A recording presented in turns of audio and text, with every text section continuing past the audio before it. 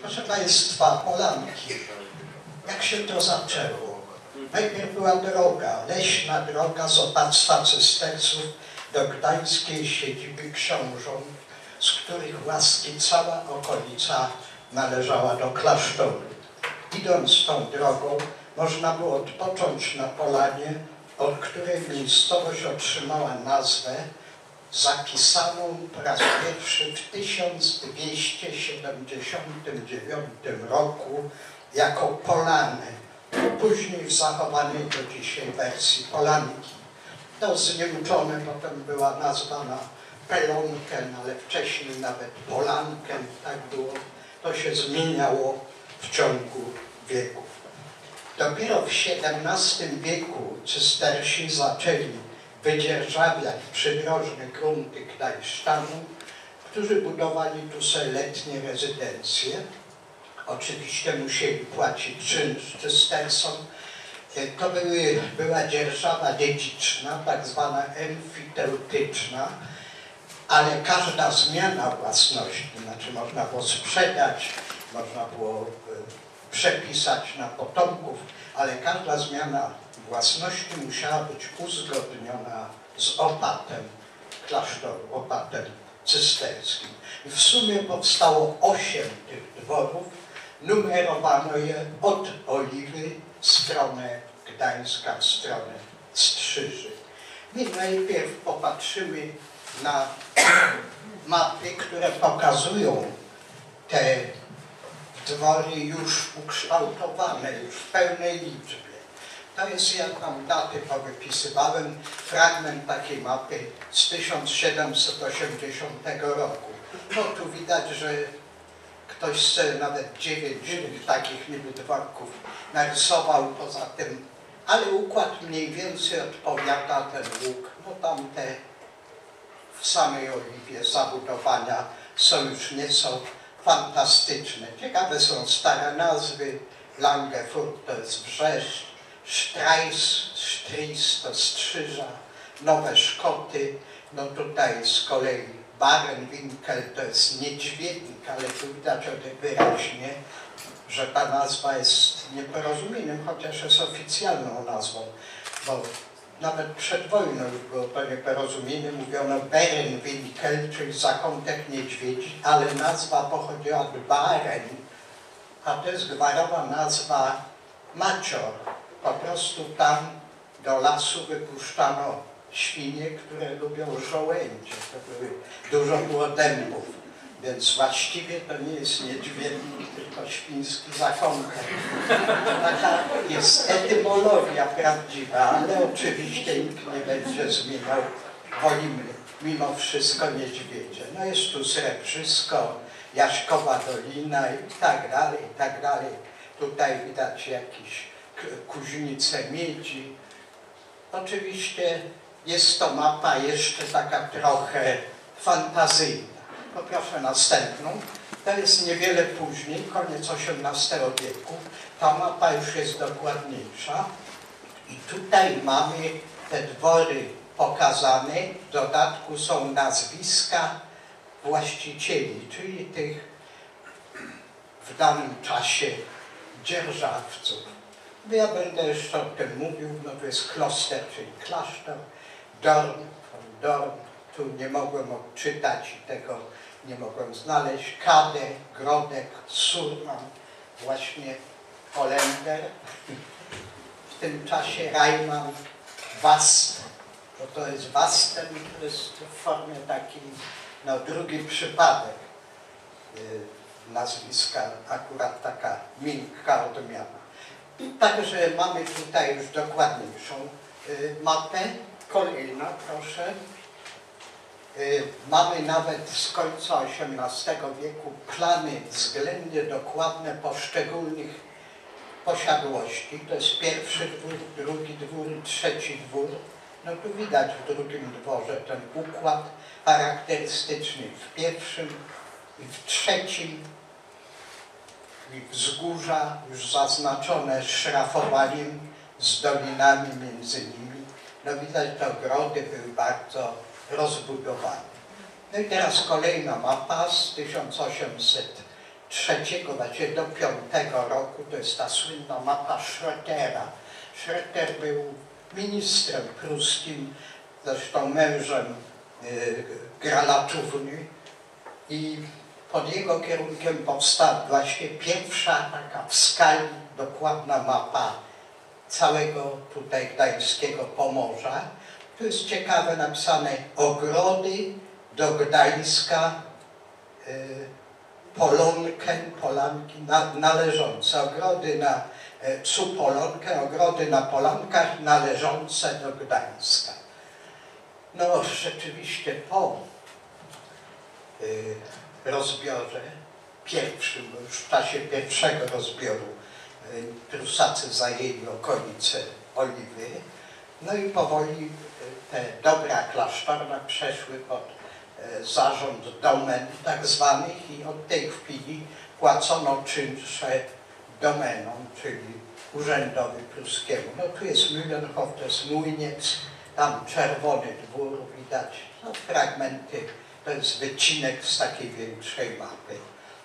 Kolejna 1833 rok, taki fragment, no tu próbowano pokazać ogrody. I znowu mam pierwszy, drugi, trzeci, czwarty, piąty, szósty dwór. To jest oczywiście już po wojnach napoleońskich. Część ulegała zniszczeniu, potem odbudowywano tu już powstała szosa do Sopotu. Przedtem to była jedna z dwóch głównych dróg. Druga szła przez Zaspę. Proszę. 1853 to jest właściwie wszystko to samo. Tu też napisane Gdańskie Ogrody, y, Polanki, Gdańskie Ogrody, a zatem podkreślać, no, że to były posiadłości z ogrodami, ale to, to nie była nowina, bo Wrzeszcz też był wsią ogrodów i rezydencji mieszczańskich. Proszę. 1905. No to są już mapy właściwie o dokładności współczesnej. To jest fragment mapy lasów Tutaj w takiej turystycznej mapy jest oczywiście już kolej od 1870 roku i są, jest numeracja tych dworów aż do siódmego. Są też te nazwy, o których mówiłem, wzgórz. Wzgórze Trzech Panów to dzisiaj Głowica. To jest nazwa urzędowa, czyli oficjalnie przez komisję przeprowadzona i potem w monitorze ogłoszona. Tak samo wzgórze strażników to jest wiecha dziś, tak się to nazywa. Wzgórze Wintera to nie żadna zimnica, tylko Góra Dantyszka. To jest nazwa oficjalna. Pomijam sprawę, czy uzasadniona, czy nie, bo akurat Dantyszek tu pewno na tej górze nigdy nie był. No, tu nie ma nazwy oficjalnej, ja to proponowałem nazwać Pawełek, a tutaj wzgórze Mangolda od nazwiska, ale Mangold to jest Botwina, więc proponowałem, żeby nazwać to wzgórze Botwiną. Dawno, dawno temu. Dikajche to jest to Samborowo, Reinketal, czyli Dolina Reinkego, to jest dzisiaj nazwa Zielona Dolina, tu są te ujęcia wody, zresztą już wtedy było jest przewody, wodociągi dla, dla Brzeszcza i tak dalej. Proszę, w 1929 to jest fragment planu Gdańska, który kiedyś, no już głęboko w zeszłym stuleciu udało mi się, otrzymałem w prezencie po prostu. Podobno takich planów są tylko dwa egzemplarze.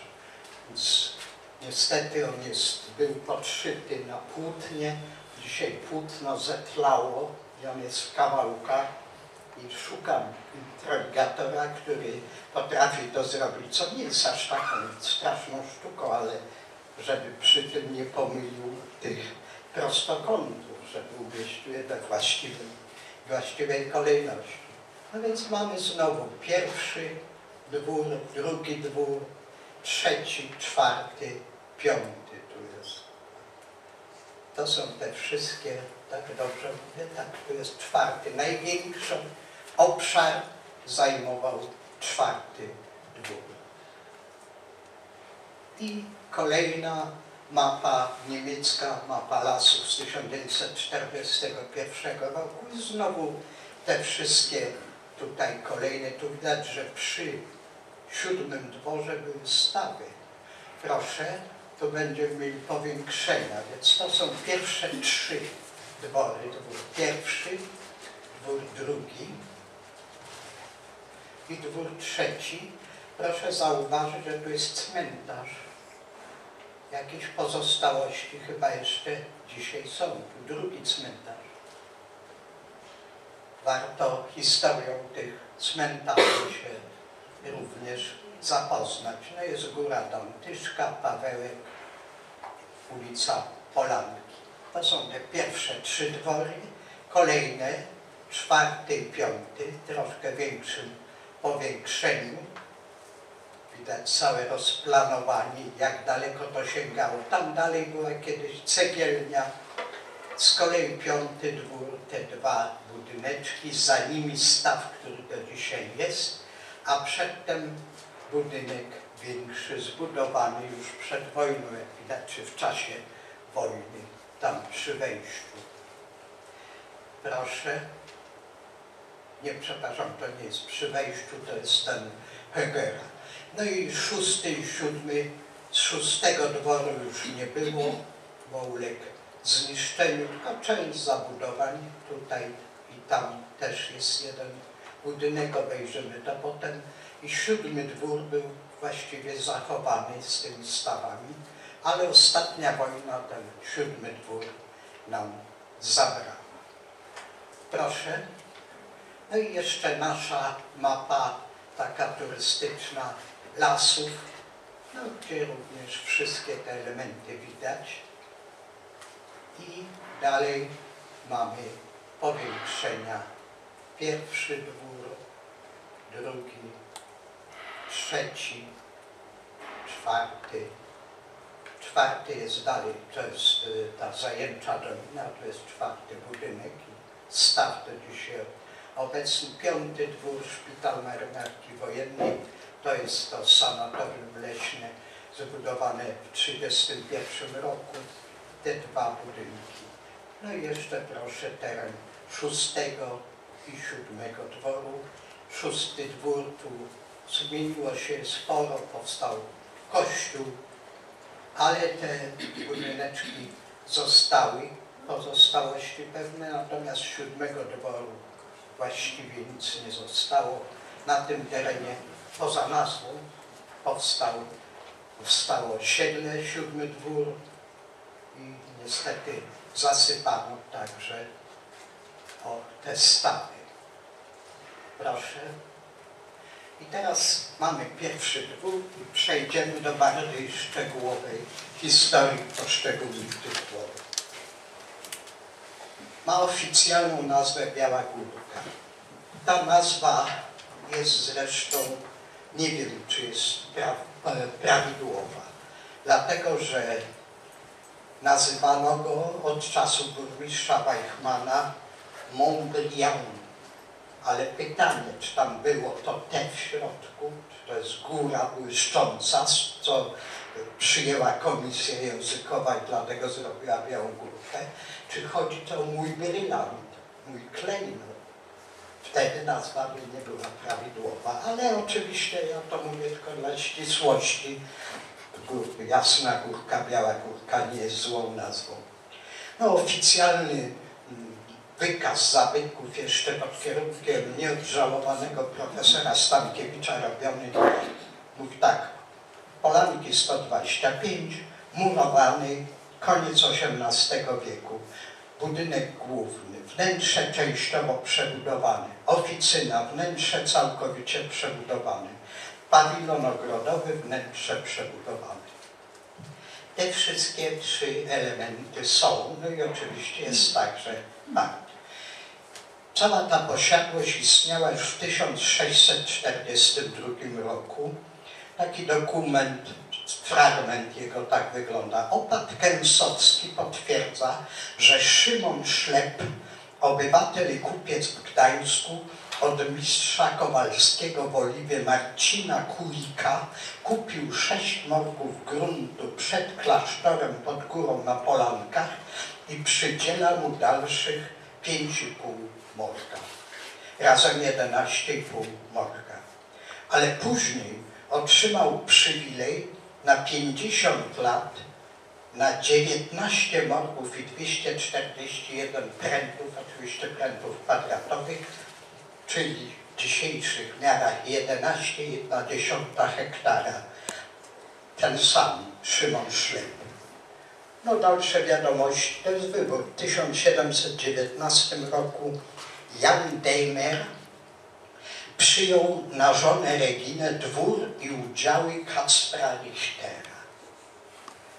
1721. Konstancja, wdowa kupca gdańskiego Gottfrieda Waltera otrzymuje dzierżawę na 30 lat, czyli przy każdej zmianie właściciela umawiano się na jaki okres jest to dzierżawa. W 1732 roku opat Zaleski wprowadza w posiadanie, to zawsze była uroczystość, za którą nabywca płacił osobno, wprowadzenie w posiadanie Y, Jana Gottfrieda Waltera, brata zmarłego kupca gdańskiego Benjamina Waltera. I w 1740 czytamy, dnia 11 września sprzedał pan Walter, kupiec gdański, już do zarządzania dalej niezdatny, do zarządzania majątkiem, swoją dzierżawę w Oliwie, no, w Polance, pierwszą od strony klasztoru, panu Gottliebowi van Dornowi. Gottlieb to tyle, co Bogumił. No, dlaczego nie von, potem pisano go von. Może to też był Niderlandczyk, jeżeli zapisano fan. Kupcowi i obywatelowi gdańskiemu z terminem 12 lat w myśl przywileju od swoich przodków otrzymanego. I dalej zapisał kronikarz klasztorny znowu taką y, rzecz, która no, przybliża nas do atmosfery. Ta zaś dzierżawa jest opacką jedynie w niektórych latach wynajmowaną. Nabywca zapłacił za nią w sumie 1550 florenów z obowiązkiem uiszczania dziesięci i opłaty jednorazowej za wprowadzenie w posiadanie. Ponieważ jednak nabywca po obejrzeniu, po obejrzeniu dwunastoletniej posiadłości rozumiem, że takiej, którą miał dostać na 12 lat. Uznał dzierżawę za wielce zapuszczoną, która żadnego innego pożytku, jak tylko dla rekreacji właścicielowi przynosić nie może. Wtedy wnosił u czcigodnego pana opata prolongatę przywileju, na co otrzymał zgodę i do rzeczonych dwunastu dodawszy dwadzieścia osiem 40 lat dzierżawy otrzymał, za które jako zadatek zapłacił 300 florenów. Także mamy nawet takie szczegóły. 1769 rok opat rybiński wprowadza na 50 lat kupca gdańskiego Jana Karola von Dorna, już von Dorna, jako dziedzica Joanny Charlotte von Dorn, posiadanie dworu. Od 1798 roku dwór, cały ten majątek stanowił emfiteutyczną własność burmistrza Joachima Wilhelma Weichmana, który wybudował istniejący do dzisiaj pałacyk zwany Montbriand. W 1910 należał do Aloisa Hecherla, obecnie z siedzibą nadleśnictwa zachował się park ze starymi drzewami pawilonu. Tu warto powiedzieć, że Weichmanowie, którzy byli w Gdańsku od XVII wieku, no to były pokolenia, byli tam duchowni, prawnicy, lekarze, dwóch burmistrzów, przepraszam, trzech burmistrzów, jeden rajca, dwóch ławników. Tenże Joachim Wilhelm Weichmann 1737 do 1819 był synem Jana Leonarda, doktora medycyny i Charlotte Wilhelminy von Dorn. A zatem tu koneksje rodzinne grały rolę, jeśli poprzedni właściciele nazywali się Fondowi. Skończył gimnazjum akademickie, potem studiował prawo w Lipsku i Wittenberce. W 1768 roku poślubił Helenę Konstancję Majer. Mieli troj, trójkę dzieci. Od 1770 zaangażowany był w sprawy miasta. Został po kolei ławnikiem, rajcą, sędzią. Trzy razy był burgrabią, bo burgrabiego mianował król Polski, bo to był taki jego niby reprezentant, zastępca w Radzie Miasta. Y, spośród ośmiu kandydatów zaproponowanych przez Radę wybierał sobie jednego, ale na rok. Także trzy razy był burgrabią. W 1784 i 1785 roku był delegatem gdańskim na rozmowy z Prusami, z władzami Prus w sprawie ułatwienia handlu. Przypomnę, że w pierwszym rozbiorze Prusacy zajęli okolice Gdańska i usiłowali, Fryderyk Wielki usiłował zdławić, zdusić Gdańsk ekonomicznie. Przez cła na przykład w Nowym Porcie, to był właśnie początek nowego portu jako portu, jako także osiedla i pobierali straszne cła. No rzeczywiście Gdańsk się okopał, y, no, pieniędzy, majątków starczyło na życie, ale handel ledwie się mógł rozwijać, nie mógł się rozwijać, bardzo się skurczył. W dodatku założono konkurencyjne miasto Chełm, obejmujące Chełm, Siedlce, Stare Szkoty i Święty Wojciech, czyli no miała to być konkurencja ta gdańska, złośliwość posunęła się nawet do tego, że główne ulice tak samo nazy kazał nazywać. Fryderyk Długa na przykład tam powstała, ale to spełzło na panewce w końcu. Niemniej jednak dolegało to gdańszczanom i Weichmann był no, tak już poważany, że został wysłany na rozmowy, które zresztą nie dały rezultatów. To potem był drugi rozbiór, 1793. Gdańsk Prusacy zajęli, czyli te wszystkie sprawy y, znikły i w zasadzie była to no, trochę korzystniejsza sytuacja, bo Gdańsk znowu miał połączenie z zapleczem. Mniej korzystne było to, że porządki pruskie zaprowadzono, czyli stracił właściwie wolność, swoje swobody.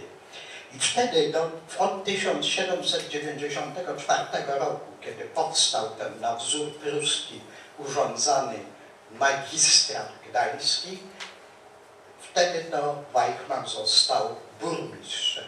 Nawiasem mówiąc, nie było to też tak, dzisiaj na to patrzymy, jeżeli nie wgłębiamy się w szczegóły, no Prusacy zajęli, prawda, zlikwidowali swobody ale Gdańszczanie wywalczyli część swobód.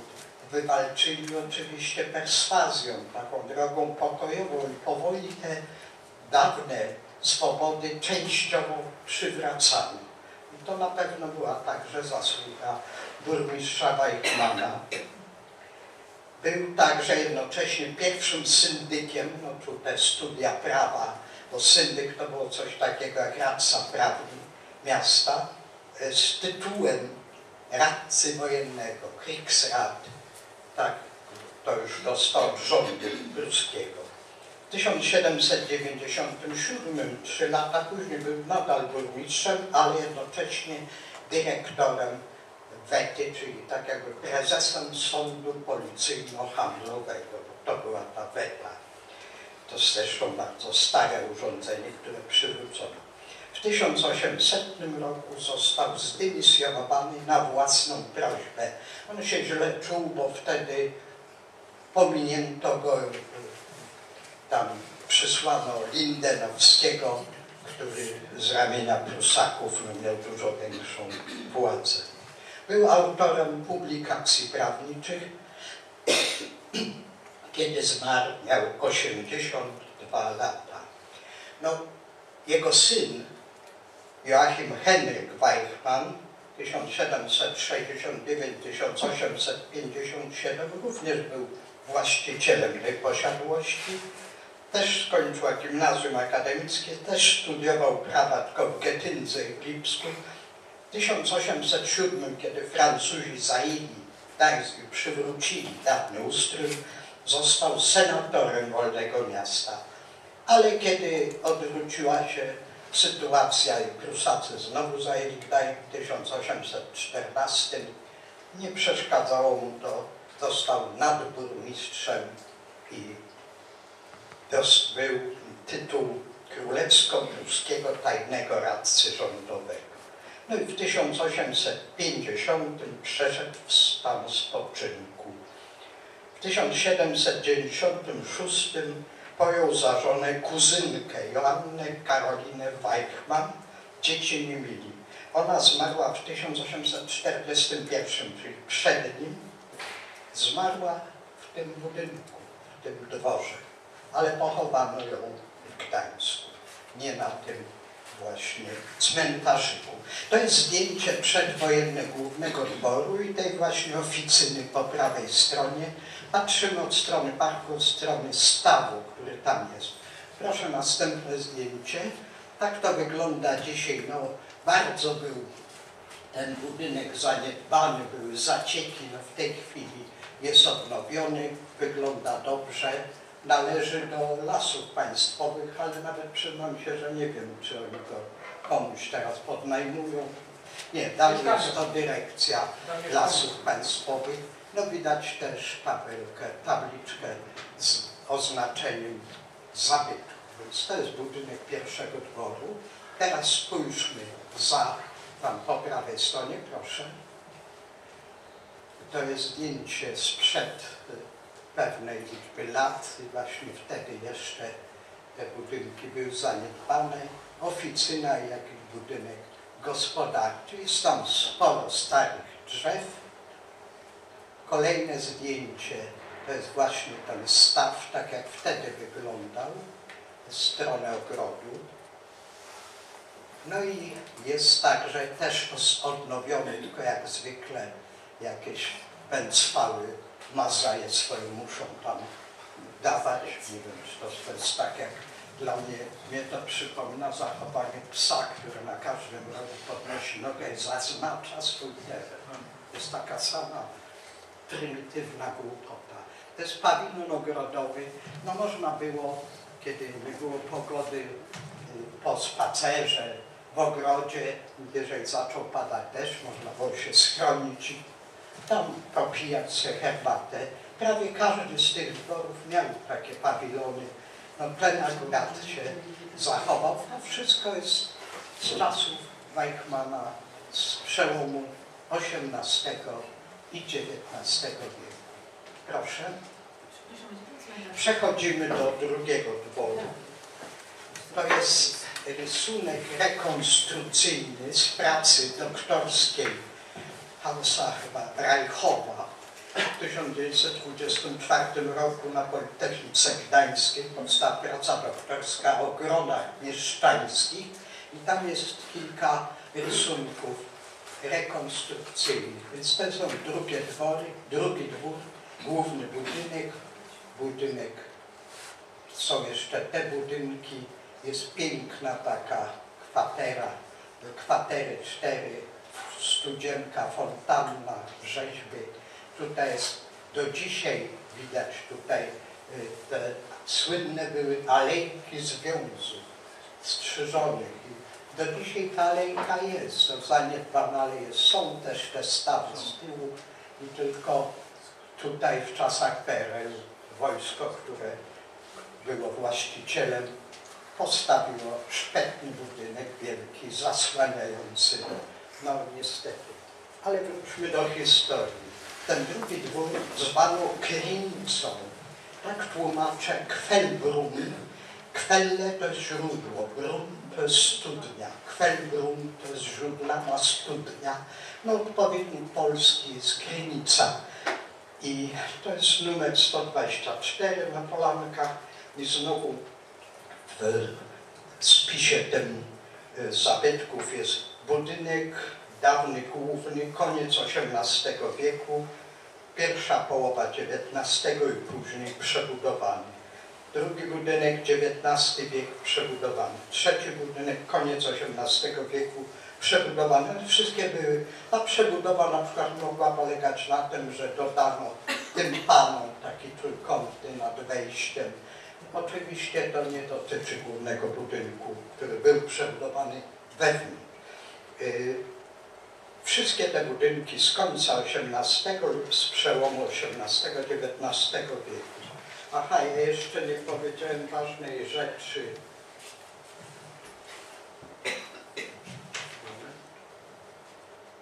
Nie, porządku.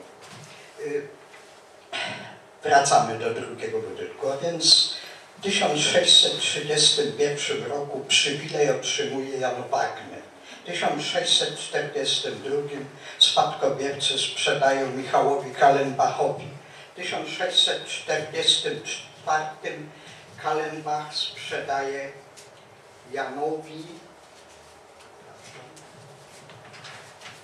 Janowi Delin, ponieważ to jest z kronik klasztornych, z tych Annales Monasterii Olivensis i innych, więc to było pisane po łacinie. Więc von der Linde czy van der Linde, bo też wywodzili się z Niderlandów, y, gdańsko-toruńska rodzina, y, to po łacinie de Linde, tak to było. Y, ten Jan de Linde Jan von der Linde zmarł w 1646 roku. Pochowano go w Oliwie, w kościele świętego Jakuba. W 1649 wdowa po nim sprzedaje Janowi Billerowi. Ja y, mówię polskie imiona, chociaż one w oryginale są z reguły Johann, bo Johannes po łacinie. Y, w 1660 opat Kęsowski udziela przywileju kupcowi gdańskiemu Ryszardowi Deroyowi. No pytanie, czy to było Deroy, czy Deroy na przykład. Możliwe, że to z kolei potomek hugonotów francuskich, bo takich też było sporo. E, przywilej na zastawiony mu przez Jana Billera dwóch Krynice. I tam jest mowa o tym, że zadłużony był ten dwór i że Biller stracił swój dwór na skutek długu.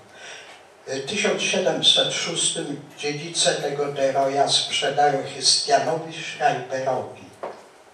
W 1710 Schreiber sprzedaje Aleksowi Picardowi. Ale to właściwie, żeby to dokładnie uściślić, cofnijmy się. W 1716 roku opat Dąbrowski wyraża zgodę kanonikowi Kamieńskiemu, nie Warmińskiemu, tam napisane wyraźnie Kamieńskiemu. Nie wiem dlaczego w internecie kursuje Warmiński. E, Kamińskiemu, czyli z kamienia pomorskiego, Janowi Chrystianowi Schreiberowi wyraża mu zgodę na odstąpienie dworu jego krewnemu Alexis Picard, tak się nazywał. Alexis Picard, może y, Aleksemu Picardowi, ja to tak y, ująłem, kupcowi gdańskiemu. W 1730 dziedzice Picarda sprzedają, znowu tutaj nie bardzo wiem o co chodzi, trzeba poszukać po prostu, także na razie tak przedstawiam, jak to jest zapisane, kapitanowi Marienhauskiemu, czy z Marienhausu, nie wiem co to za miejscowość, Janowi Fryderykowi ab Eckenhülsenowi, bardzo długie nazwisko szlacheckie, za 4000 florenów. Osiem lat później pan Zaleski zezwala Janowi de Eklaw, to jest ten sam, tylko no, ten skryba klasztorny za każdym razem to inaczej zapisywał Hilcenowi, kapitanowi Marienhuskiemu, żeby ten po śmierci swojego ojca sprzedał dwór za 4000 florenów Ignacemu Jacynkowi, czyli Jackowi Matiemu, kupcowi gdańskiemu. Jak widać tutaj krążymy wśród nazwisk francuskich, Mati, Picard i tak dalej, Deroy. W 1759 roku wdowa po królewskim radcu, radcy finansowym Matim sprzedała dwór kupcowi gdańskiemu Leonardowi Foglowi. Fogel, no to przynajmniej wiadomo, ptak. Ten sprzedał go Karolowi Frizemu. Ostatnim prywatnym właścicielem od 1805 roku był Daniel Scheffler. Tutaj korzystam z internetu, więc to jest do sprawdzenia, jak wszystko, co przychodzi z internetu. W 1827 posesję przejęła Generalna Dyrekcja Towarzystwa Handlu Morskiego, a w 1833, ta data jest prawdziwa, urządzono w dworku przytułek dla starców, który istniał do końca ostatniej wojny. Potem oddano to wojsku, no już powiedziałem, co wojsko z tym zro zrobiło. Wygasł, wygasł ten zarząd nieruchomości przez MON w 1992 roku. Dwór popadał w ruinę, został przekazany siostrom Brygitkom i tutaj duża zasługa księdza prałata Henryka Jankowskiego. Utworzono międzynarodowe Centrum Ekumeniczne. No, zaczęło działalność w 1998 roku. Rok później gościł tutaj papież Jan Paweł II. No więc zobaczmy następne. To jest jeszcze przedwojenne zdjęcie. Widać już zarośniętą tą fontannę, pewno już nieczynną, ale figury jeszcze są tutaj. Mam też zdjęcie samych figur z pracy Reichowa, ale Reichow w tym 1924 bodajże roku pisze już, że te figury są w prywatnym posiadaniu przy Jaśkowej Dolinie. To są figury czterech pół roku, rzeźbione przez jednego z największych gdańskich rzeźbiarzy, Jana Henryka Meissnera. Pisze się M-E-I, a nie Ani, tak jak tu zapisałem. A więc wiosna, lato, jesień, zima. No dzisiaj oczywiście nie ma tych figur. Tu patrzymy mniej więcej z tego miejsca, gdzie te figury stały, na ten no, odnowiony budynek, ale to jest taka zawali droga, która z jednej strony zasłania widok na posesję, z drugiej strony zasłania mieszkańcom posesji widok na morze. No jest to pożyteczny gmach, bo tam jest urząd, Gdański Urząd Miar i Wag, także oczywiście chwała im, że odnowili, bo to wyglądało paskudnie. Niemniej jednak no, to przykład znowu takiego obchodzenia się brutalnego z pięknymi zespołami. I to w czasach jeszcze PRL. Dzisiaj też nie brakuje takich, takiego postępowania. Odnowiono, Brygitki odnowił wspaniale ten drugi dwór. Widać też je, jego y, oficynę z lewej strony, z prawej strony tam majaczeje trochę wyżej położony budynek, jakaś stajna tam była coś takiego. Jeszcze zajrzymy, jest brama, niezwykle pięknie zrobiona. Tutaj konserwatorzy się popisali. No i jeszcze wewnątrz, tu akurat w zimie, fotografia Dariusza Żarowskiego jest ten budynek z początków XIX wieku, klasycystyczny i nowa grupa figuralna na dziedzińcu. Proszę, przechodzimy do trzeciego dworu. Proszę Państwa, Polanki 122, 1625 rok, pierwsza wiadomość, XVIII wiek, to znaczy, że budynki pochodzą 1855 adaptacja na zakład leczniczy, w 1869 na dom starców. Budynek główny, druga połowa XVIII wieku, pierwsza połowa XIX wieku, rizalit z tym panonem. Z tym panonem to jest właśnie XIX wiek. To jest ten budynek główny, a tu jest budynek boczny, i o budynku bocznym pisał zespół pod kierunkiem profesora Stankiewicza druga połowa XVIII wieku po 1855 przebudowany i rozszerzony. Wymieniają także pawilon ogrodowy z początku XIX wieku. Nie piszą o grocie, która tam gdzieś trochę wyżej jest. I ta wiadomość 1625 roku to jest przywilej. My, brat Adam Trepnic z Bożej Opatrzności, opat klasztoru oliwskiego zakonu cystersów, wraz z całym konwentem w Oliwie czynimy wiadomym i oświadczamy niniejszym wobec wszystkich i każdemu z osobna, iż potem jak nieboszczyk szlachetny, szanowny pan Helmich von Fenkusen przed kilkoma minionymi laty, minionymi laty za naszym dopuszczeniem, zgodą, wiedzą, wolą i powinnością. Od szlachetnego pana Krzysztofa Tampskiego, pewno Tempski się prawo, które w myśl przywileju na pewną liczbę lat na 12 morków gruntu między granicami naszego wójta Pawła Duleja nie wymieniłem tego wójta w poprzednim wykładzie o ratuszach i o wójtach. Tu jest jeszcze jedno nazwisko, widzę. I Jakuba Kęcera w okolicy zwanej Polanką położonego na wiele lat było wydane to prawo poprzez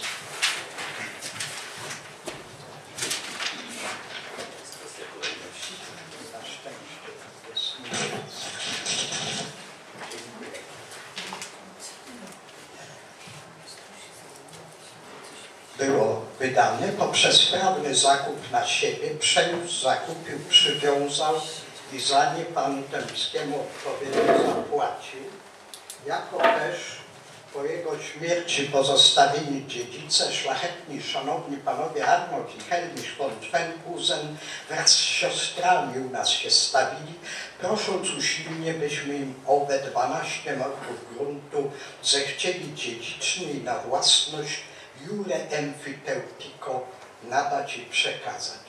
Nadanie objęło łącznie 27 morków chełmińskich, czyli 15,2 hektara. Później dwa razy tyle. To była największa posiadłość, 30 hektarów w sumie. Kolejny właściciel, stan Krzysztof Tempski, przed 1625 oczywiście był ten Helmich von Twenhusen starszy, 1625 Arnold i Helmich, jego synowie z siostrami, czyli dzieci.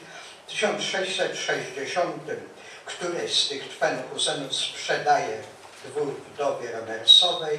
1665 Jan Szlakow albo Szlakał, dlatego tą posiadłość potem nazywano Szlakał od nazwiska. Przed 1732 Jerzy von Wachschläger, rzeczywisty etatowy sekretarz jego królewskiej mości szwedzkiego, a więc postać ważna, ale chodzi o króla polskiego, szwedzkiego i polskiego. 1732 jego syn Jerzy Wachschläger, 1737 wdowa sprzedaje Ławnikowi Szymonowi Jerzemu von Benelnowi zresztą potem również był. 1741 doktor medycyny Dawid Kade kupił za 5800 guldenów. Ten Kade przedtem tam na mapie był zaznaczony, Kade był napisany. Ten Kade był członkiem Towarzystwa Przyrodniczego, no, można być uczonym, ale doktorem medycyny. W 1777 roku mamy opis.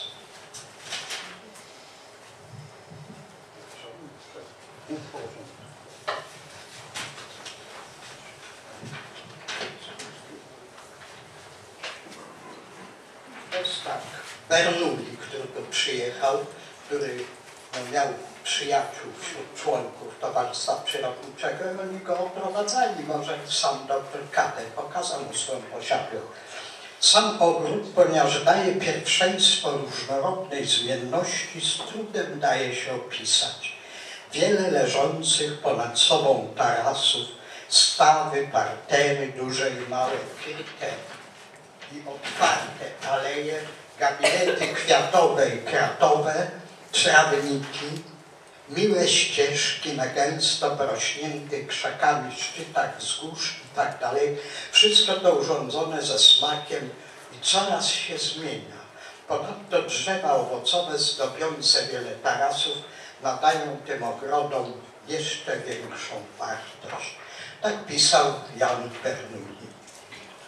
19 października 1784 roku mamy taki zapis. Henryk Floris Schopenhauer, kupując spadkobierców Kadego, był przetarg urządzony, za 1816 talarów i 60 groszy, 60 groszy nawiasem mówiąc wtedy to były, aha, bo to były marki po 3 grosze, to był prawie jeden talar. Ogród re rekreacyjny ze wszystkimi emfiteutycznymi przynależnościami, wszystkimi budynkami, rolą, lasem TP w jego miedzach i granicach, ze wszystkimi określonymi w przywileju uprawnieniami i swobodami i w ogóle cum lucro et onere, no, czyli no, z tym, co słodkie i z tym, co ciężkie, z obciążeniami i zaletami i wadami, jednym słowem. W odpowiedzi włączając w to także sprzęty ogrodowe według specyfikacji załączonej do akt. I 16 maja 1785 roku po ślubie w kościele wszystkich aniołów bożych przy Wielkiej Alei wprowadził tu 18-letnią Joannę Henriette Drozinerówne. I ona pisze tak we wspomnieniach. W pewnej odwalach na polankach, w pewnej odległości od siebie zbudowane, stykały się ogrodami, nieraz bardzo okazałymi, ocienionymi wspaniałymi bukami, jaworami, opierając się o wyżynę tworzącą krawędź lasu ciągnącego się w głąb ziemi kaszubskiej. Pole i las, półwysep Hel ze swoją latarnią, otwarte morze, reda z płynącymi w niebieskiej dali okrętami, port, upragniony cel stojący dla nich otworem, Wisła uchodząca do Bałtyku z twierdzą Wisłoujście na jej brzegu, cała bogato zabudowana okolica ponad wysokimi wałami miejskimi, jeszcze wyżej strzelające wieże. Wszystko to z okien tych nieco na wyniosłości postawionych domów tworzyło jeden z najbogatszych i najbardziej zachwycających widoków, jakie znam. Wszystkie te domy należały do rodzin wyróżniających się bogactwem, były zamieszkane przez nie w letnich miesiącach. Każdy starał się polecanych mu podróżnych prowadzić do tych ogrodów, na co gościnni właściciele nader chętnie pozwalali. Nikt, zwłaszcza w niedzielę, nie przeszedł obok, żeby przynajmniej kilka minut nie przyglądać się igraszce chyżych i pełnych życia wodotrysków, to jeden z nich widać, z których wiele rzucało obfity strumień wody na 60 do 70 stóp ku niebu, 20 metrów. To były artezyjskie wodotryski. My w tej chwili przykład taki mamy w Stawowiu. Tam jest ten wodotrysk, który po prostu woda spływa z góry pod ciśnieniem nie sztucznym, tylko naturalnym, wytryskuje w górę. Tak samo było i tutaj. Źródła były dużo wyżej. Z których wiele, jak mówię, tak na 70 stóp ku niebu, by piękną tęczą zamienioną w rubiny diamenty opaść z powrotem do swego zbiornika. Wielki, piękny ogród, pełen kwiatów i owoców, las ze wspaniałymi zboczami, wysokim sklepieniem drzew, duży staw ogrodowy z barwnie pomalowaną gondolą, którą mi mój mąż prowadził z Archangielska, a która była tak lekka w kierowaniu, że mogło się z nią uporać sześcioletnie dziecko. Miałam również zwierzęta dla swojej przyjemności. Parę koni, którymi mogłam dowolnie wyjeżdżać na przechadzkę, czego nie wliczam, bo wolałam wówczas chodzić niż jeździć. Dwa śliczne, malutkie hiszpańskie pieski, osiem jagniąt, których toaletą zajmowała się żona ogrodnika i które nie ukazywały mi się inaczej jak śnieżno-białe i starannie wyszczotkowane. Jagnięta miały dzwonki na szyi, nastrojone według nowego wynalazku angielskiego. Wszystkich osiem tworzyło razem jakby srebrzystą, bardzo czystą oktawę. Proszę sobie to wyobrazić, to, to wyrafinowanie, ta wysoka kultura tych ludzi. W tej chwili, no gdzie nam to? Ale powinniśmy coś robić, żeby im dorównać, żeby przewyższyć nam. Nie, wrzask, hamstwo, bluzganie, nienawiść, agresja. Jechałem taksówką, miałem pecha, bo trafiłem na człowieka tak sfrustrowanego, że tak jak pisze Steinbeck swojej tej podróży z Czarnym. Steinbeck pojechał z Czarnym, powiedział, znam cały świat, a nie znam mojej ojczyzny. Kupił sobie półciężarówkę, wziął pudla i po, pojechał przez Stany Zjednoczone aż do Ameryki. I gdzieś tam w stronę Florydy trafił w hotelu na taką panią. Są tacy ludzie. Człowiek jest pełen radości, optymizmu, a potem posłuchaj parę minut i od razu życie mu brzydnie. To są ludzie, którzy rozszerzają dookoła siebie miazmaty pesymizmu. Ten człowiek na wszystkich pluł dosłownie. Co mogłem zrobić? Powiedzieć, proszę pana, wysiadam, no to bym tutaj nie zdążył. Także nie było rady. Na końcu mu Bardzo życzyłem, dziękujemy za heroizm. na końcu życzyłem, no żeby mu się poprawił humor. No zresztą wypytałem go, okazuje się, że nie ma rodziny, jest samotny, dzieci nie miał. Także no, są jakieś przyczyny tego jego, ale no wszystko, nic mu się nie Panie profesorze, następnym razem, jak będzie Pan tu jechał, proszę go zaprosić na wykład. W takim otoczeniu to może mu się poprawi. No może, może. W każdym razie tutaj widać no, osobę, która pisze te wspomnienia po latach, gdzieś siedząc w Niemczech, w Weimarze i wspomina lata młodości. Możliwe, że to jest zbyt optymistyczne, bo to tak się zwykle wspomina, ale pięknie napisane.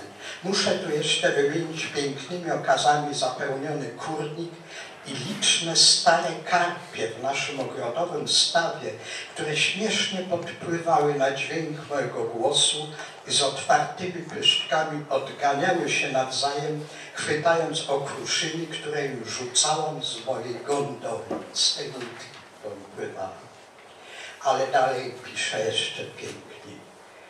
W oświetleniu wieczornym, jak i porannym, poruszone burzą do swych największych głębin, błyszczące w jasnym świetle słonecznym, albo chwilowe zacienione przez przelatujące chmury, zależnie od godzin dnia, wiecznie zmienne morze użyczało mi nigdy nie nużącego widowiska. A gdy wieczorem nie zamknęłam okiennic, budził mnie pierwszy krąg słońca unoszącego się nad Bałtykiem. Zdarzało się nieraz, że o północy niewypowiedziana wspaniałość ciepłej nocy letniej, w czasie której słońce jakby tylko dla żartów chowa się na krótkie godziny, zatrzymywało, zatrzymywała mnie długo przy otwartym oknie. Purpurowy pas, który oznacza na horyzoncie miejsce zachodu słońca jeszcze nie zagasł, druga godzinna poranna jeszcze nie wybiła, a już płonęło wschodnie niebo coraz to większą wspaniałością. Widziałam obie latarnie morskie na półwyspie Hel i na wybrzeżu gdańskim, jak migające w ciemnościach meteory. Słuchałam jeszcze jakiś czas po szum drzew w sąsiednim lesie, przedziwnego ćwierkania rozmarzonych ptaków w ogrodzie, aż w końcu szmer nigdy nie spoczywającego pod moim oknem wodotrysku usypiał mnie niepowstrzymanie. No, proszę Państwa, sławni ludzie, ta Pani nie cieszy się taką sławą dzisiaj, jak powinna. To jest świetna pisarka.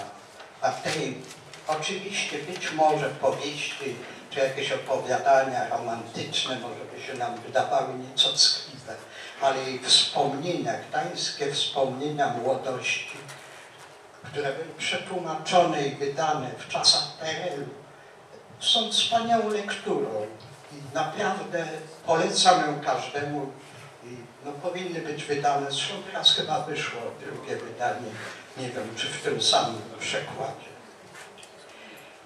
Przededniu zagarnięcia Gdańska przez Prusy Henryk Floris udzielił pełnomocnictwa. Mamy treść.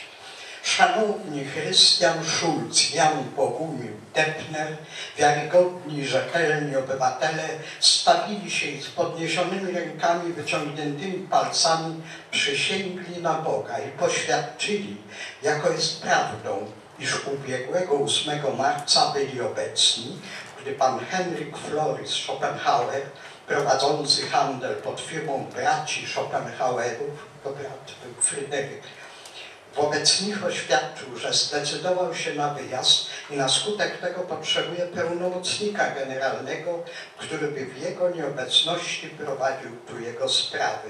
Przeto pragnie w tym celu za pomocą i na mocy niniejszego ustanowić swoim prawdziwym, niekwestionowanym generalnym szczególnym pełnomocnikiem pana Jakuba Kabruna młodszego. No, ten Kabrun, jego ojciec, miał wspaniałą kolekcję sztychów, która dzisiaj jest ozdobą naszego Muzeum Narodowego. W załączniku określono szczegółowego uprawnienia. W sierpniu przyjechała Joanna, 93 rok, która przyrzekła mężowi, że będzie co roku odwiedzać Gdańsk. 1 września tego roku otrzymuje kuratora, bo kobiety nie miały pełnych praw rozporządzania majątkiem w osobie Jana Labesa i wspólnie z Jakubem Kabrunem i Urzędem Domenowym w Oliwie sprzedaje dwór wraz z ruchomościami kupcowi Piotrowi Finkemu za 4600 talarów. 3000 z tego za grunt budynki, reszta za sprzęt opłatę transakcyjną, czyli laudemium, które niegdyś szło dla klasztoru, a teraz dla urzędu demonowego, domenowego, w wysokości 10% uiścił nabywca.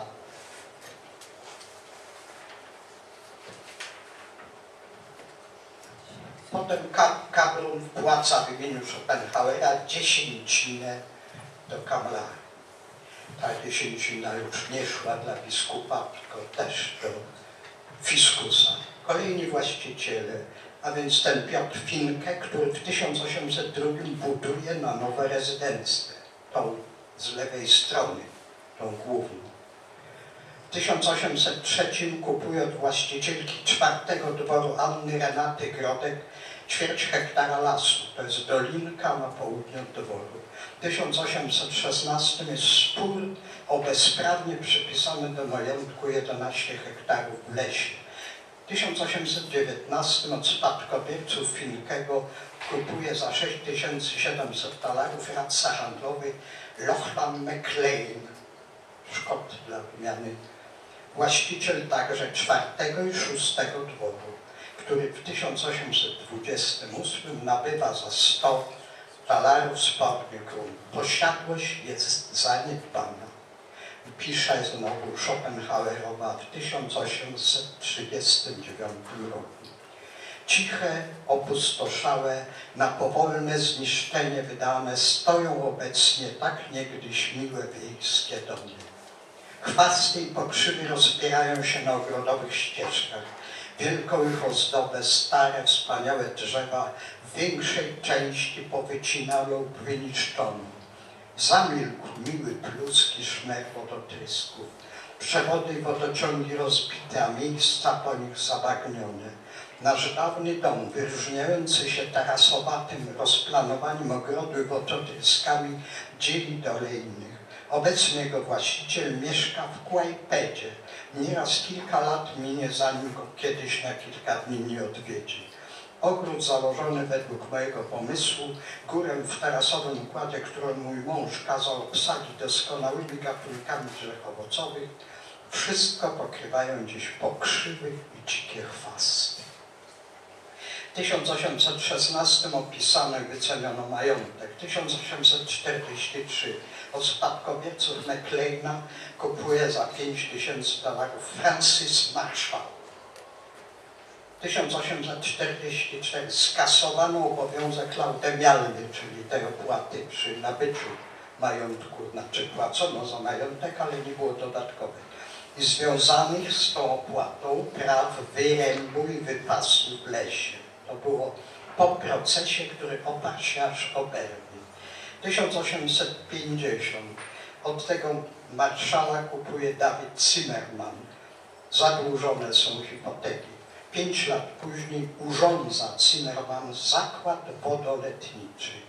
Ale widocznie nie bardzo to poszło, bo w 7 lat później, 1862, sprzedaje mistrzowi murarskiemu Teodorowi Rauschningowi z Ejdku.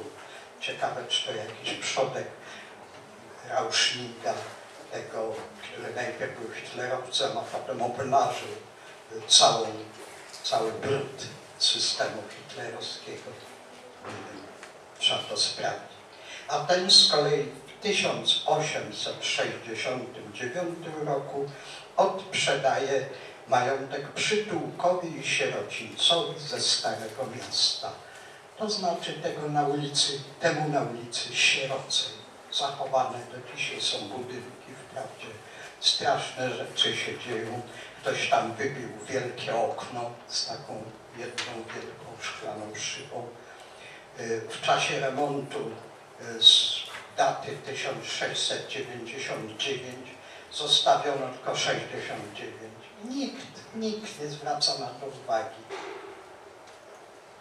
Powinno się bez przerwy no, przypominać ludziom odpowiedzialnym, że tak być nie powinno. To jest po prostu nieporządne.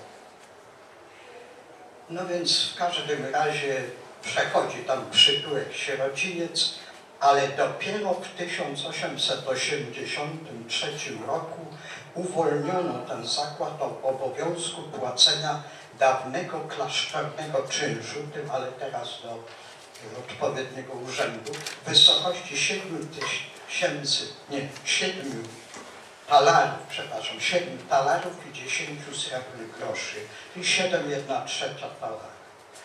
Po 1945 roku zakład wychowawczy.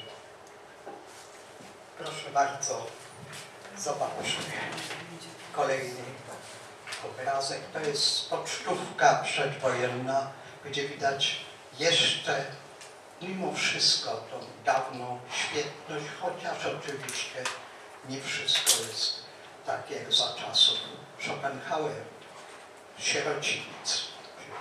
Mieć, proszę.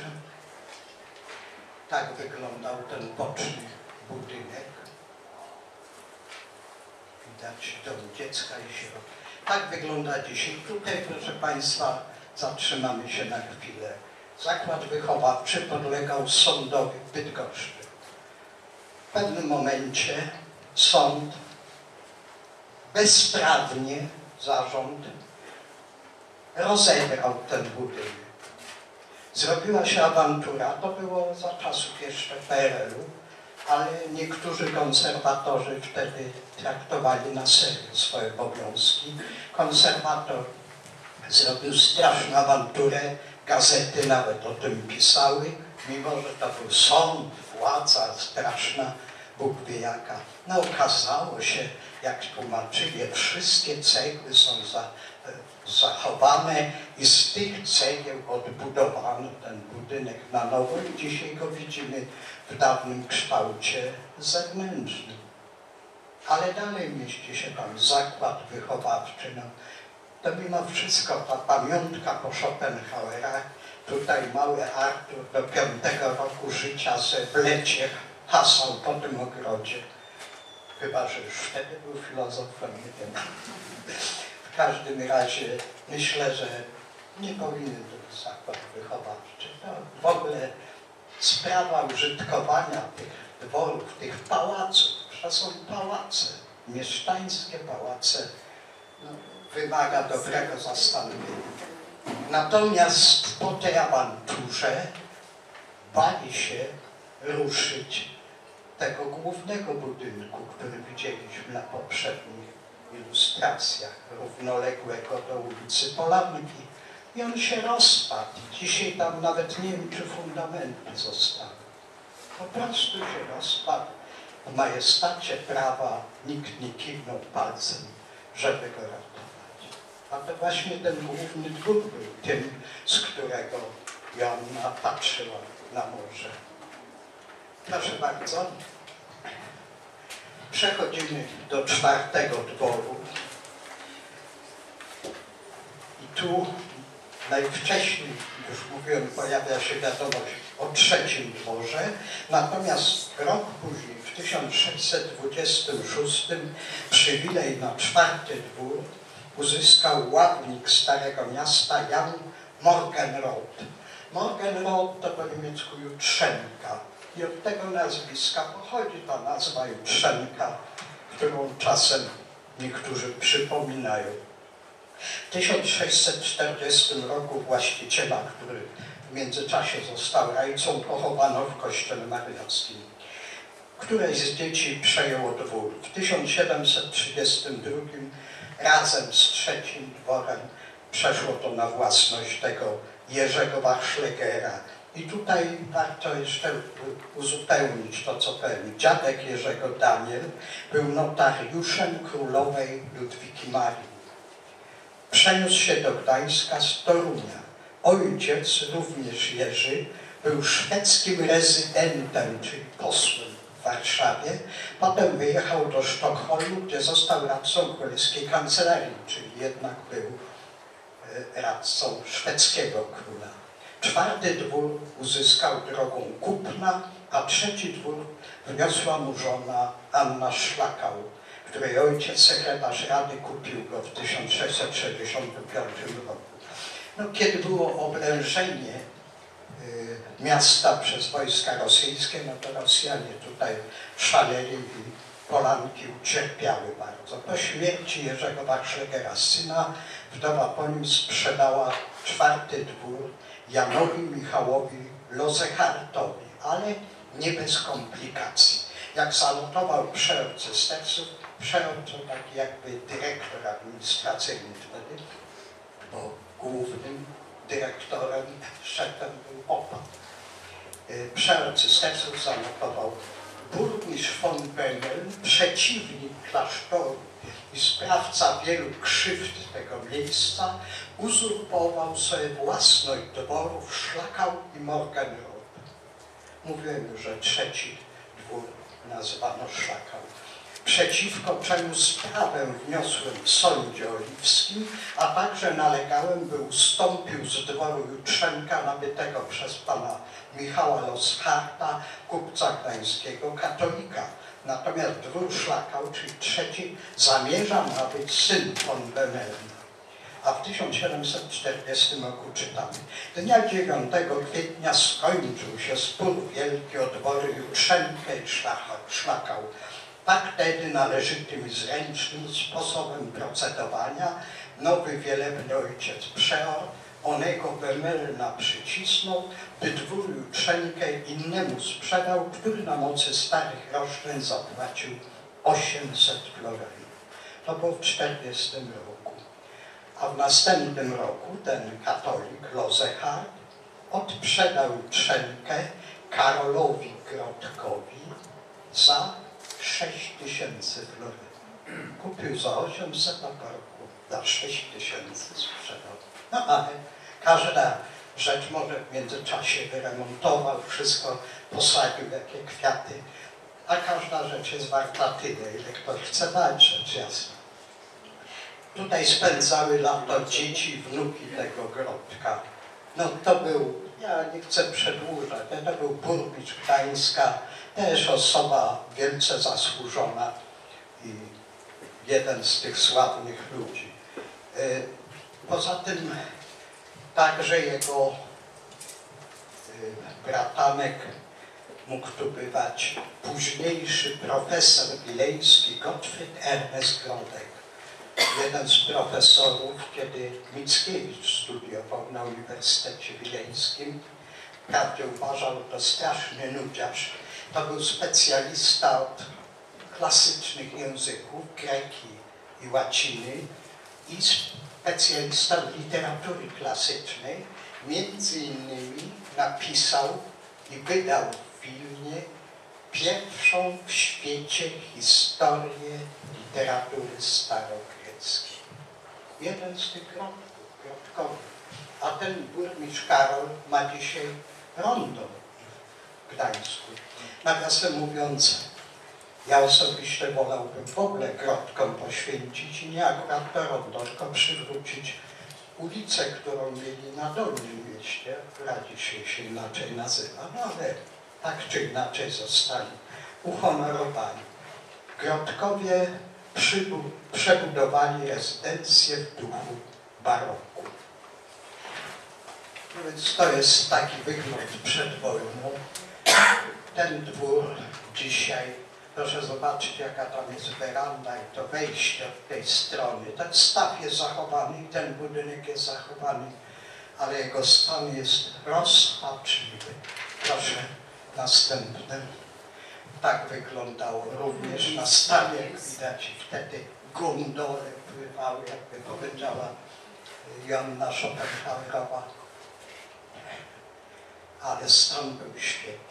A to jest dzisiejszy stan z tym, że nie widać, tu widać trochę takie zaniedbanie, ale lepiej nie zaglądać do środka. Proszę, spójrzmy jeszcze. To jest drugi budynek, ale to jest obojętne. Obydwa są w takim złym stanie. Proszę, przykład klasycystycznej z przełomu XVIII-XIX wieku klatki schodowe. I nie ma na to pieniędzy. A do kogo należą te budynki Ale teraz? kto, co tam jest w środku? No miejmy nadzieję. To należy do szpitala, ale szpital chciałby to wyremontować i ma, A, ma plany wiem, nawet co do tego, ale znowu jest kwestia Nie pieniędzy. ma pieniędzy. I są miasto chce lekką rączką kładkę nam zafundować, czyli barierę przez Motławę za 13 milionów złotych. Nie mówiąc o innych. Nie mówię oczywiście o wielkich sprawach, bo przebudowa układu komunikacyjnego słowackiego, tunel pod Wisłą, to są rzeczy ważne i tutaj nikt nie może mieć pretensji, ale są też rzeczy nonsensowne. A tutaj ginie świadek historii niezwykle cenny. Proszę Państwa, jest jeszcze jedna pamiątka. No to jest widok, pokazuje, że i dzisiaj, mimo tego zaniedbania, jest to piękna rezydencja. Z tej strony taka prosta, no nie ma już tego wejścia od tej strony z tą taką werandką, które bardzo ozdabiało, ale samo otoczenie, drzewa, starodrzew, są też alejki wiązów. Tam wyżej jest ten budynek, o którym mówiłem, jest także jakiś taki pawilon, parę rzeczy tam jest. Jest to w ogóle piękna posiadłość. Wprawdzie znowu w czasach PRL wybudowano no, pożyteczny, cenny i ważny szpital dziecięcy, ale znowu, ale on nie stoi jednak mimo wszystko przy głównym wejściu, trochę z boku i on tutaj nie przeszkadza. Proszę jeszcze następne. Piec z herbem Grodków z 1741 roku, czyli z tego roku, kiedy Karol Grodek przejął ten dwór, został właścicielem, jest, ale nie w tym dworze. W 1907 roku przeniesiono go, bo urządzano wnętrza na nowo i przeniesiono go do dworu Królewskiej Doliny, do dzisiejszego przedszkola. Niestety nie dysponuję dzisiejszym zdjęciem, ale to jest zdjęcie przedwojenne właśnie w tej rezydencji Zachariasza Zabrę. Więc dwór w tysiąc, jakie tam jeszcze były? W 1805 nabył dwór Menonita von Kempen i on tam właśnie nadał mu ten dzisiejszy kształt. Ostatnim prywatnym właścicielem był Prochnow. To była wielka firma budowlana, która między innymi wybudowała dworzec główny według projektu trzech wybitnych architektów, między innymi Georgesa Cuniego. Dzisiaj w 1902, cztery lata później, znaczy w 1900, przepraszam, w 1905 roku kupił Jutrzenkę Krajowy Zakład Ubezpieczeń. W 1909 otwarto dom wypoczynkowy, przekształcony w 1927 roku w sanatorium dla rencistów. A wyżej powstało sanatorium dla chłopców, które tam przedtem pokazywałem w jakimś strasznym stanie. Czwarty dwór dziś należy do szpitala dziecięcego i należałoby życzyć poprawy warunków, żeby szpital mógł uzyskać pieniądze na rewaloryzację także parku słynącego z alejek stawów i fonta.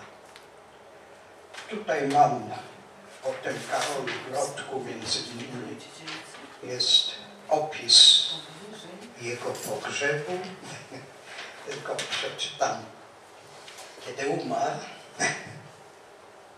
Tak, oczywiście to nic wesołego, ale w 1775 roku e, pogrzeb towarzyszyło mu ze zwierzchności, tu mam niemiecki zapis, 165 par, e, trzech szewców 21 par, czyli po dwóch, e, krawców 26, to znaczy 26 dwójek takich rzemieślników, piekarzy 25 par, rzeźników 18, złotników 20, 22 pary, y, pieczywa luksusowego 9 par, kuśnierzy 22 pary, y, pasamoników 19 par, poza tym cech, czyli raczej gildia y, emerytowanych żołnierzy, taka też była 19 par, czeladnicy murarscy 12, razem 380 par, no czyli 790 takiego orsz, osób orszaków odprowadzało go do grobu, a ciało dźwigało 14 studentów. 160 świec było przy tym. No był to ktoś. Proszę bardzo, kolejny dwór, zwany angielski, nie anielski, mam na to dowody. Brama ulicy strzeżona przez portiera informuje, że jest tu szpital marynarki wojennej w Gdańsku. No ale historię lepiej. E, posiadłość istniała w 1654 roku. Właściciel Mikołaj Cambier gdańszczanin niderlandzkiego pochodzenia, dokupił 250 hektarów gruntu od syna byłego właściciela sąsiedniego czwartego dworu Jana Margarota. Chyba nie 25, 250. Wszystko jedno, poprawimy kiedy indziej. Kampier miał emfiteutyczną dzierżawę, więc transakcję musiał zatwierdzić opas Opat. W 1710 wdowa odstąpiła posiadłość Piotrowi Wastowi, który cztery lata później przedał ją za 4000 florenów zięciowi Natanielowi Szulcowi. Kochajmy się jak bracia, liczmy się jak Żydzi. Wprawdzie jeden z moich przyjaciół, który mieszka teraz na Hawajach, inaczej mówił. Kochajmy się jak Żydzi, a liczmy się jak bracia. Proszę Państwa, dalej. Nie był ten, to jest właśnie budynki przy wejściu, nie był ten was dobrym gospodarzem, bo zadłużył hipotekę, pożyczył dziedzica z Męgorzyna Michała Pastoriusza von Hirtenberga 2,5 tysiąca florenów na hipotekę. Kolejna transakcja dnia 25 stycznia 1740 roku sprzedał szanowny pan Nataniel Szulc, obywatel kupiec gdański, obecny prefekt Wielkiego Młyna Gdańskiego, swój dwór na Polankach położony, który rozmaicie bywa na, nazywany Englischer Hof, czyli dwór angielski, stąd pisze wyraźnie przeor. Stąd, że Anglicy zwykli go na letnią rezydencję wynajmować. No chyba wiedział, co pisze, więc nie usiłujmy wmawiać, że jest anielski, mimo że po niemiecku mógłby być anielski. I teraz, a także Schulzenhof, no był Schulz, był właściciel, ale nazwisko Schulz to także sołtys, więc sołtysówka na przykład mógłby się nazywać. Kupił go szanowny pan Henrykus Sermans, obywatel kupiec gdański z pochodzenia Holender sumę 5 tysięcy florynów. Nawiasem mówiąc, pradziadek Artura Schopenhauera, tylko babka była uiścił laudemium wynikające z należności emfiteutycznej 500 florenów. Ponadto czcigodny pan opat, jak zawsze w przypadku sprzedaży wszelkich dzierżaw klasztornych, zapewnił sobie za jego wprowadzenie, przypominam to wprowadzenie, dozwolony podarek, mianowicie 60 florenów.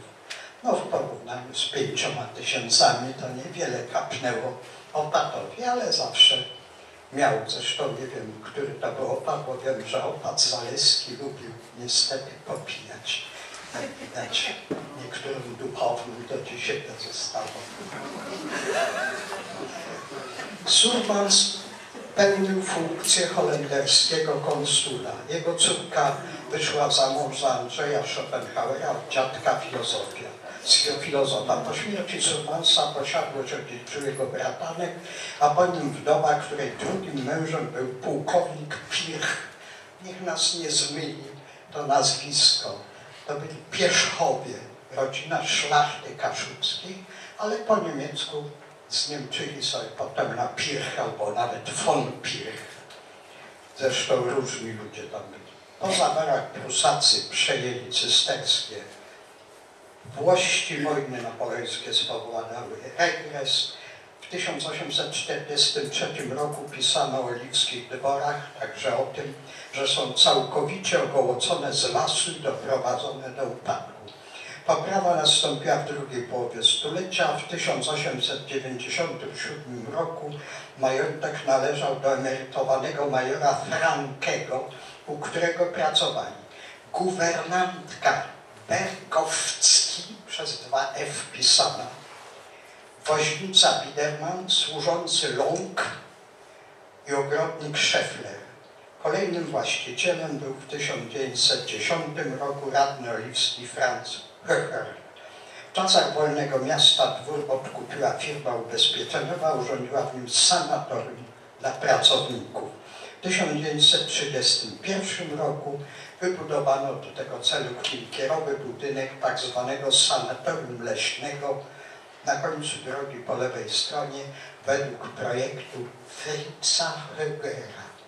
Ja wiem, że większości z Państwa to może nic nie mówić, ale jednym z najsłynniejszych zabytków architektury lat 20. i 30. jest tak zwany Dom Chile w Hamburgu tego Fritza Högera.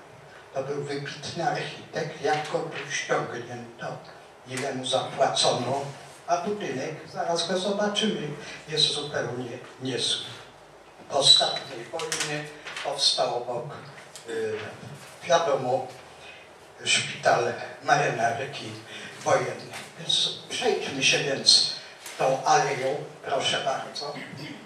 Ta rezydencja mimo tej całej zabudowy dodatkowej, zachowała coś takiego wielkiego. Mianowicie jest ta alejka żywopłotowa, strzyżone wiązy. Widać tam daleko rezydencje, te, o których mówiliśmy. Proszę, idziemy dalej. Jesteśmy już bliżej. tam staruszkowie się przechadzają, pacjenci, proszę.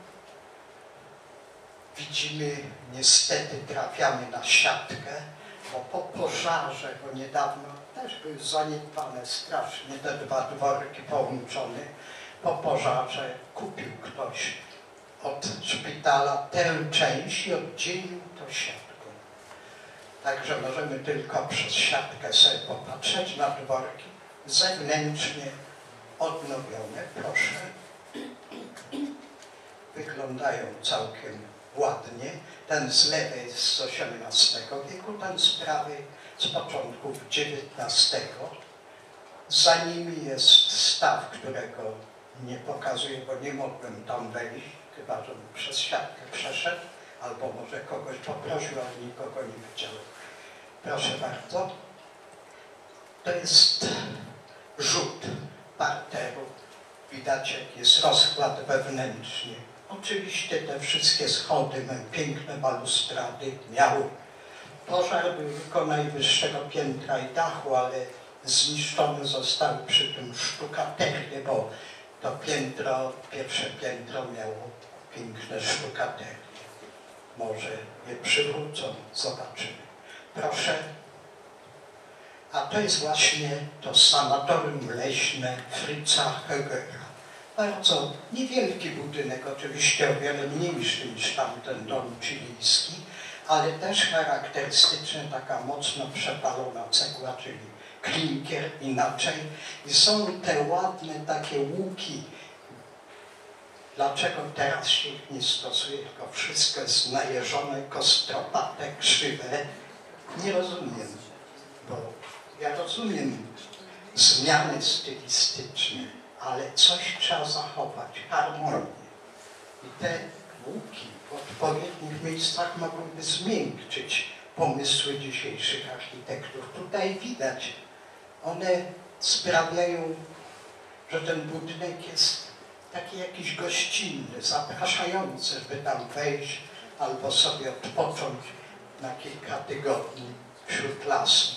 Poza tym proszę zobaczyć, jak z lewej strony jest tutaj urządzony taki stopnie jakieś tutaj są. Dzisiaj oczywiście wszystko jest zarośnięte. Proszę, zobaczmy, spojrzymy od strony, proszę, o, od strony tego okrągłego. Ale i tak widać, że budynek jest starannie wykończony. No ma nowy dach, więc z blachodachówek, ale darujmy, kształt został zachowany. Proszę, zobaczmy co dalej. Aha, można spotkać czasem, zwłaszcza w internecie, wiadomość, jakoby w tym właśnie piątym dworze mieszkał e, no, prezydent Senatu Grańskiego, Greiser, późniejszy kat wielkopolski. Nie mieszkał w piątym dworze. Mieszkał w tej willi, która dzisiaj należy do zespołu szpitala, ale ona nawet numer ma inny, to jest inna parcela, sąsiednia parcela. Willa nazywała się Axhof, oczywiście nie była dla niego zbudowana, tylko dużo wcześniej. Axhof to znaczy dosłownie, dosłownie dom siekiery, pod siekierą, więc może nawet i pasowało do tego drania i bandyty, że tutaj mieszkał. Więc to jest ta. Proszę. No i nowy budynek szpitala, to jest w duchu realizmu socjalistycznego, ale całkiem przyzwoity budynek, również proporcje, wszystko tutaj jakoś w tej posiadłości panuje rzeczywiście harmonia. No i tylko szkoda, że tak bardzo została przedtem zaniedbana. No i tu teraz przejdziemy taką alejką obok tej alei, którą szliśmy, bo już wracamy, proszę, i zobaczymy, jakie jeszcze pozostałości dawnego piękna tutaj są. Tam dzisiaj jest pięknie. No i na koniec szósty dwór. Też mamy wiadomości od dawna. No niestety został zniszczony ale ze starych cegieł w XIX wieku zbudowano ten dom przy ulicy Abrahama 27. Spójrzmy na niego z innej strony, bardziej od frontu. I na koniec jeszcze jedno zdjęcie. Po tych schodach można wejść i zobaczyć rokokowy portal, na pewno przeniesiony z tamtego poprzedniego dworu. Także można uważać ten budynek za pozostały szóstego dworu. Nie sprawdzałem, obawiam się, nie ma go w rejestrze zabytków, a według przynajmniej poprzednich władz konserwatorskich, jeżeli czegoś nie ma w rejestrze zabytków, to choćby to była katedra Notre Dame, to to nie jest zabytek. I można rozebrać, można zmieniać. Tu widać, że stan jest zły, mimo tam mieszkają ludzie. I też należałoby po pierwsze wpisać go do rejestru, a po drugie coś zrobić, bo sam wpis, pokazuje zajezdnia w Oliwie, tutaj nie wystarczy. Trzeba zmienić świadomość nie tylko ludzi, inwestorów, władz architektonicznych. I takich ludzi, proszę Państwa, przeczytałem przedwczoraj w dzienniku, taki artykuł na temat odbudowy mostu w Tczewie. Jednego z najwspanialszych mostów, jaki wtedy w połowie XIX wieku w świecie wybudowano. I powiada uczony pan profesor, też to emerytowany, z, z Politechniki Gdańskiej, którego zaprosili jako znawcę, że te nowe przemysła nie mogą być powtórzeniem dawnych, bo to zmniejszy wartość tych autentycznych Żebym nie wiem jak się wysilał, ja tego nie zrozumiem. Przecież wartość autentyku nie polega na tym, czy on się różni widokowo od innego, czy nie. Tylko na tym, że jest autentykiem. Dlaczego nie można wybudować innych przemysłów takich, jakie były? To nie zmniejsza wartości. Natomiast jeśli chcemy, żeby się odróżniały, to jest na to prosty sposób. Pomalujmy je na troszkę inny kolor. I będzie widać. Mało tego, wydana zostanie na pewno książka i w książce będzie wyraźnie napisane te i te przęsła są autentyczne, te są zrekonstruowane. To wszystko wynika z pewnego, nie chcę używać brzydkich słów, jakiejś takiej fobii, że rekonstrukcja to jest coś złego. Rekonstrukcja, byle dobra, jeżeli nie ma autentyku, jest najlepszą rzeczą, jaka w danej sytuacji może być dokonana. W samej rekonstrukcji nie ma nic złego, to musi być dobrze zrobiona, nie może być byle z czasem cały obiekt, kiedy już się zastarzeją tak, że te zrekonstruowane części będą miały równą wartość. Ale to nie znaczy, że autentyk będzie miał mniejszą, tylko one dorównają wtedy autentykowi. Więc nie rozumiem, to jest taka pokrętna, pokrętne rozumowanie, którego ja niestety fizyk nie potrafię pojąć. Proszę Państwa, po drugiej stronie Abrahama, tam przy wejściu do Zielonej Doliny zachowały się dawne budynki, może nie tyle gospodarcze, co mieszkalne dla jakichś pracowników tego dworu, tego majątku. To jest Abrahama 34. Tutaj są ślady boniowania. Też widać, że ten budynek jest stary, chociaż był przebudowany. I jeszcze jedno zdjęcie, to jest też w okolicy tutaj. To zresztą chyba jest właśnie ten budynek z innej strony. Piękne położenie pozostały szóstego dworu. Siódmego, jak mówiłem, pozostało tylko nazwa. Jeszcze popatrzmy na koniec na parę portretów. Henryk Floris Schopenhauer, ojciec filozofa i Joanna Schopenhauerowa, nawiasem mówiąc, tutaj miał 48 lat, to już dużo później, ale widać, że była bardzo atrakcyjną inteligentną osobą. On niestety, kiedy wyjechali, żeby nie być pod pruskim panowaniem do Hamburga, który był naprawdę wolnym miastem, nie z tytułu, tylko naprawdę no, źle się tam czuł i w końcu w dziwnych okolicznościach wpadł do Fletu. Flet to jest kanał takich rachtów w Amsterdamie. W Hamburgu są flety. Utonął. Jest podejrzenie, że popełnił samobójstwo. No ona była dużo młodsza od niego i no, miała tryb życia, zapraszała przyjaciół i tak dalej. On zdaje się miał jakieś kompleksy. Zresztą y, jej syn no, też potem bardzo źle y, odnosił się do matki, ale w ogóle Arthur Schopenhauer nie miał miłego usposobienia. Był geniuszem, ale nie był sympatycznym człowiekiem. Więc to są ci sławni, sławne osoby z Polanek, chociaż krótko, bo tylko kilka lat tutaj mieszkali w tym trzecim dworze.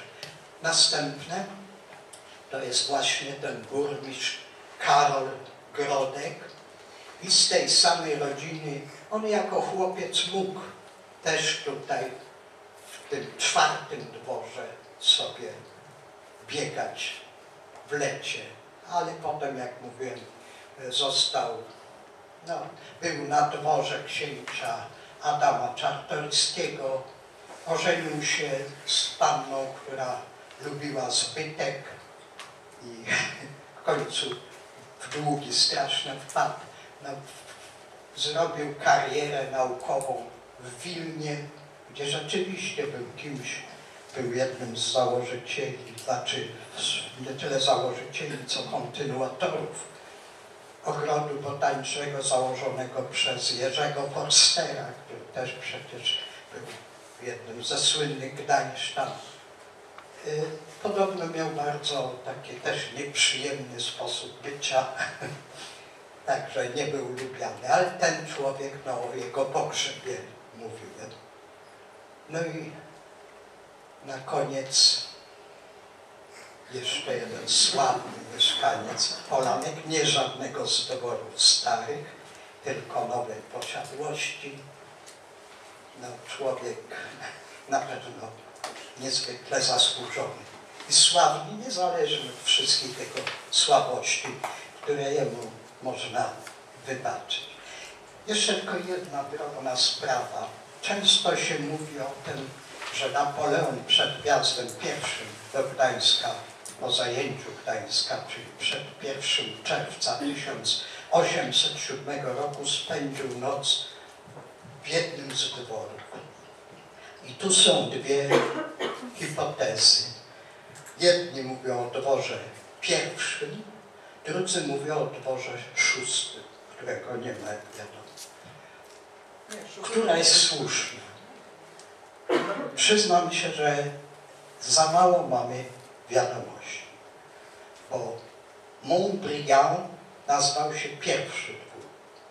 I teraz wszystko zależy od tego, trzeba sięgnąć do dokumentów i zobaczyć, czy był w dworze Montbriand, czy po prostu w jednym z dworów na Polankach. Więc jeżeli w Montbriand, to musiał to być pierwszy. Natomiast jeżeli był w jednym z dworów na Polankach, to idąc za pracą badawczą, jaką wykonał dziennikarz Oliwski Arkę, on na długie lata przed ostatnią wojną ogłosił taki artykuł, w którym dowodził, że nocował w szóstym dworze, ale nazwał go Montpellier, co jest niezgodne z prawdą. No więc można powiedzieć tylko jedno, przenocował w jednym z dworów na Polatkach.